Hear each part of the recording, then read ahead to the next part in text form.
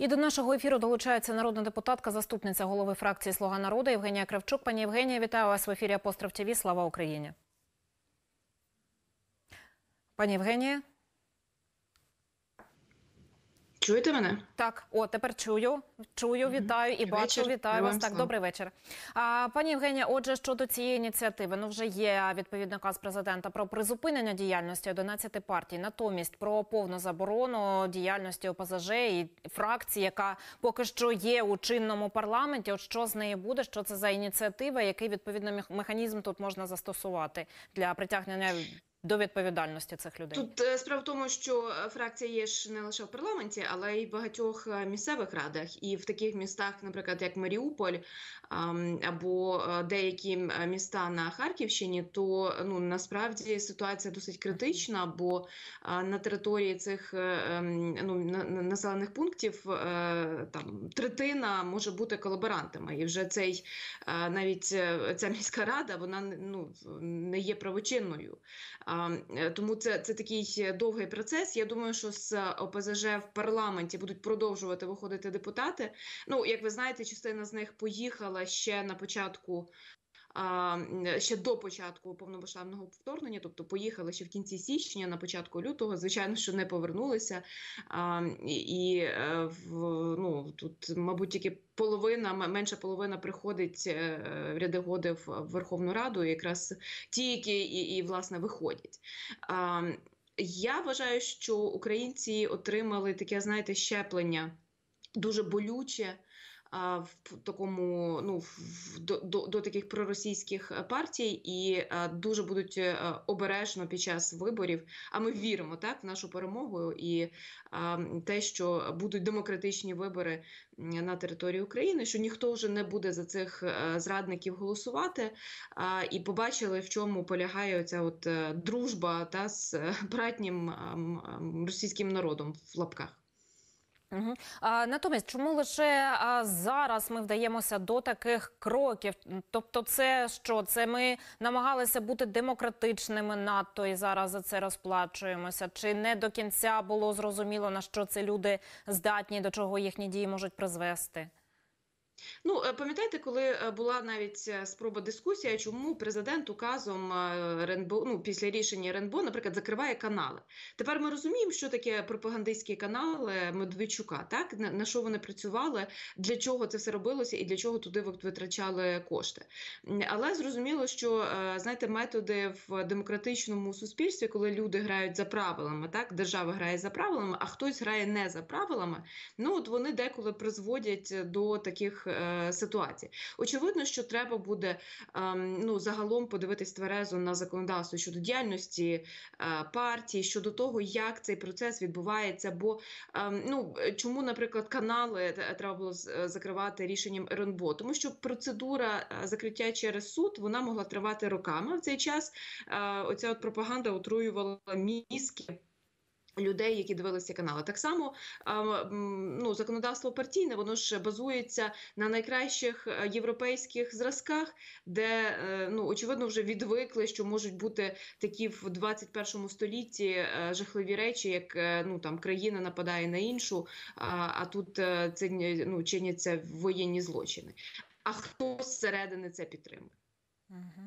І так, щодо того, що канали призупинили діяльність, то ми тепер розуміємо, це, мабуть, ті 5 мільярдів доларів, про які казали так скаженів Путін, які були виділені на пропаганду, аби тут зустрічали рашистські війська із хлібом, сіллю та з квітами. В тому числі, але е, це також і ем, е, очевидно там деякі, ну як можна назвати це громадські організації, а, які діяли е, і там не знаю, оплоти всякі, да, які спрацювали в 2014 році. Але очевидно, що грошей виділяли набагато більше, і м, тут вважали, що не знаю, в Києві будуть е, зустрічати з квітами. А тут в в будь-якому населеному пункті, е, ну умовно кажучи, з вилами зустрічали, але не з квітами. А в- в- в- військ- воєнні е, з танками і з джевелінами. Так, щодо зброї, до речі, Сенат США одностайно вже ухвалив закон про запуск ленд-лізу для України. Це, якщо я розумію, з Другої світової війни ми забули, що таке слово. Зараз його згадуємо. Дозволить це адміністрації Джо Байдена ефективніше надсилати нам зброю, техніку. А сенатори також підтримали цю пропозицію, оскільки українські військові довели, що можуть відбиватися від російських військ, які обстрілюють українські міста з кінця лютого. Ця програма створена була якраз під час Другої світової. Вважалася переламною у ході війни, оскільки дозволила США дуже швидко поповнювати запаси союзників без трудоміських процедурних перешкод. Поки що не ясно, чи Палата представників розгляне прийнятий сенатом закон про ленд-ліз перед тим, як обидві палати покинуть Вашингтон у четвер на попередньо заплановану двотижневу перерву. Очікується, що Палата представників ухвалить законопроект про торгівлю з Росією після голосування Сенату у четвер вранці. Також такі, такий порядок денний. Та може, пані Євгенія, наскільки це також може бути зараз переламною історією у цій війні, яка триває зараз? А, Це власне дуже важливо, і ми про це говорили із сенаторами, і з е, представниками ну репрезентатів, з представниками а, палати представників. А, Дійсно, в них зараз будуть е, е, пауза в засіданнях на два тижні в зв'язку із па- Великоднем. А, Але очевидно, що є вже двопартійна підтримка, і е, ми на цих зустрічах пронаголошували так, що в нас абсолютно об'єднане суспільство. А, В в нас всі вірять в перемогу збройних сил, але збройні сили мають е, мати додаткову зброю для того, щоб вигнати російських загарбників. І е, паралельно, звичайно, будуть програми, які на які вже виділені гроші. От е, нещодавно, там 3 чи 4 дні назад, з'явився пакет на 300 мільйонів доларів, там, де безпілотники, де ракетні системи, там дещо інше. Чи це ну покриває всі наші потреби? Ні, і ми про це чесно говоримо. Що нам, нам потрібно більше зброї, в тому числі важкого озброєння. От якраз ленд-ліз – це довготривала, довгострокова програма, яка фактично, ну як ми пояснювали, що Путін може просто ну виснажувати Україну і чекати, коли закінчиться у нас там набої до цієї радянської зброї. А от е, ленд-ліз передбачатиме і нове е, озброєння, яке е, ну користуються країни НАТО. Це ще А, не ну там тільки перший шлях ту крок, так його ще треба голосувати в палаті представників і реалізовувати. Але це дуже хороший а, сигнал. Бо е, і, і на, на словах, на- в заявах теж звучать е, і від держдепа, що скільки буде потрібно, стільки ми будемо надавати підтримки воєнної Україні, і в них завжди ну, українців має бути завжди більше зброї, е, аніж ту, яку вони там використовують щодня. От власне цей меседж у нас також був. А, тобто а, ще не зрозуміло, чи встигне також Палата представників його розглянути перед цією перервою, чи вже очевидно, що це Ну, на ми будемо знати в четвер, бо дійсно в них так графік побудований. Е, Ну, це так, ж у нас четвер закінчується, у них ще не ввечері, як то кажуть, так. ввечері. Так. А отже, щодо також цієї підтримки, то там вже не лише на Україну, так а й на східну Європу також вона розрахована. Ну на країни-партнери, е, бо, бо в нас е, ну є е, ну і зараз так відбувається, бо не, не вся зброя вона лежить насправді на складах у американців. Так вона є в, в країнах інших. Але тут знаєте, ще раз хочу підкреслити, що не можна говорити про будь-які поставки, поки це не офіційна інформація від країни, яка це організовує, або від Міноборони. Бо всі ці прекрасні пости в телеграм-каналах і навіть в західній пресі про те, щось уже відгружається і виїжджає в Україну. Насправді не допомагає, лише шкодить. Бо Росія починає тиснути на цю конкретну країну, намагається зірвати ці контракти.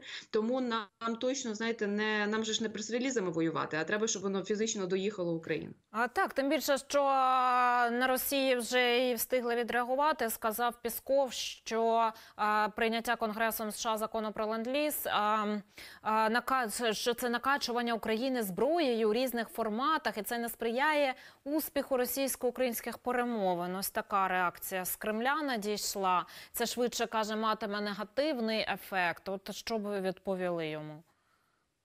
А успіх перемовин він же ж залежить від позиції сторін. От в нас е, завдання, щоб ми мали військову перевагу, і е, е, щоб це впливало на, на реальну позицію Росії, а не на те, що вони там в своєму пропагандистському світі думають, бо вони ну вірять свою ж пропаганду.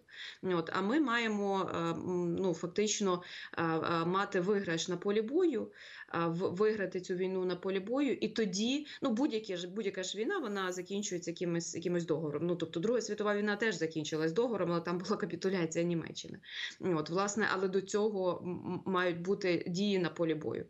на Ну так, користь. ну так зрозуміло, чому вони так кажуть, бо найбільше аргументів в цих перемовинах їх якраз ЗСУ нам і надає. А ще про один момент хотіла б з вами поговорити, зокрема про те, що нам буде чим захищатися, і сказав це міністр закордонних справ України Дмитро Кулеба, підсумувавши сьогоднішню зустріч голів МЗС країн НАТО та партнерів. І таким чином очільник відомства натякнув е, теж на те, що нам допоможуть. І у своєму інстаграмі також Кулеба написав.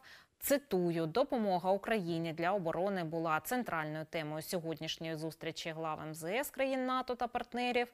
Зброя любить тишу, тому без деталей скажу одне: нам буде чим захищатися. Пані Євгенія, сьогоднішній цей. ам, Саміт, ця зустріч, наскільки також він для нас сьогодні був важливим, ефективним.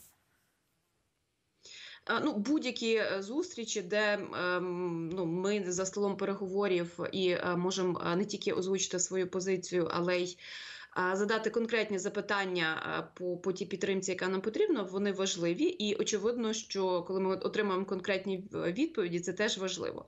Е, Ми бачимо практично щодня е, нові заяви про санкції, в тому числі від е, Європейського союзу. Це ще теж, ну як то кажуть, не формує повну картину, бо поки не буде повного ембарго на, на нафту, е, газ та вугілля, е, Росія матиме дії, і ем, ну власне це ем, ми, добиваємося повного ембарго. І відключення від СВІФТу не лише там додатково, наприклад, Збірбанк. хоча Збірбанк це один з найбільших банків, але є Газпромбанк, який власне через якого ідуть іде, іде оплата за енергоносії. І от на ці е, е, англійською мовою loopholes, тобто прогалини, ми також на зустрічах в Сполучених Штатах і в Канаді, коли були там минулого тижня, теж вказували і надсилали листи і просили конгресменів тиснути власне на, на свою виконавчу владу для на тих, хто веде переговори з партнерами в Європі, щоб це відбулося. Але очевидно, що а, треба ще й а, усім а, е, намагатись говорити з Німеччиною, бо Німеччина це. А, Ну, скажімо так, основний е, поки що е, найбільша вірніше країна, яка е, ну не обіцяє там дуже швидко відмовитися від е, повністю від енергоносіїв. Хоча і вони вже роблять кроки до цього. Вони шукають країни, де б можна було е, купувати енергоносії. Ем, Але багато в чому країни інші орієнтуються на позицію Німеччини. А загалом, власне, чому я так питаю про ефективність? Бо а з початком цієї війни дуже так, скажімо, дивно працюють міжнародні інституції, які після Другої світової якраз були створені задля того, щоб так реагувати вчасно на подібні виклики. От про роботу інституцій світової ізоляції Росії зараз можете сказати, от наскільки, скажімо так, відсотків це все втілено і від того, що могло б е, статися? А єдина міжнародна інституція, яка, наприклад, виключила повністю виключила Росію свого е, членства, це Рада Європи. Ми були на, на цьому засіданні, на голосуванні. Наша делегація ми це проштовхнули. Це була консенсусна думка усіх політичних е, груп і, і, і потім країн, коли міністри голосували за це. А чи можна сказати, що е, Рада Європи якимось чином допомогла запобігти війні? Теж ні. Вони теж в цьому провалилися. А, а, цю організацію також було створено після Другої світової війни для того, щоб коли країни базуються там на демократії, на е, of law, на, на повазі до закону і на повазі до прав людини, от вони, ну, начебто, якщо вони цього дотримуються, то тоді е, одна країна не нападе на іншу. Ну, власне, Росія цього не дотримувалася, і ну бачимо так результат. З приводу ООН, е, дійсно ООН ну, поводить себе як Ліга націй, особливо мова йде про е, Радбез, Раду безпеки ООН. де є е, постійним членом Росії, яка блокує абсолютно все, має право вето. І очевидно, що треба переглядати всю цю архітектуру безпекову. Е, Там G7 сьогодні здається звернулися, ем, що вони підтримують виключення із е, одного із е, ем, органів ООН там з приводу прав людини. А Це ну знову ж таки на полі бою нічого не змінить абсолютно. Е, І ем, ми розуміємо, що ну треба переглядати всю цю безпекову конструкцію, бо вона не спрацювала так, як не спрацювала Ліга націй, коли Росія напала на Фінляндію в 39-му році. І не треба себе тішити ілюзіями, що ці ем, організації, там на які витрачаються кошти, вони реально Ага. щось можуть зробити. Ми, до речі, порушували питання, те, що е, такі організації, як Червоний Хрест, вони насправді не працюють в Україні. Е, працює там відділення Українського Червоного Хреста, е, але глобально ця організація міжнародна, вони бояться їхати Ага. в Україну, там роздавати якусь гуманітарну допомогу, а грошей вони отримують donations так дуже багато. А вони просто надають свої машини для гум коридорів. Насправді, якщо так говорити е, чесно, так само. Міжнародні інституції, ем, там в, ООН різні, вони теж не працюють Так. фактично ну, не дуже працюють Так, на землі. Вони мають знаєте- якісь е, інформаційні Мгм. проекти, але не, е, не доїжджають до людей. Як у нас зараз у соцмережах жартують, якщо вам здається, що ви замало робите до перемоги, то подивіться на ООН. Таке нас також пише. Дякую вам, що до нас долучилися. Євгенія Кравчук, народна Дякую. депутатка та заступниця фракції Слуга народу з нами була на зв'язку.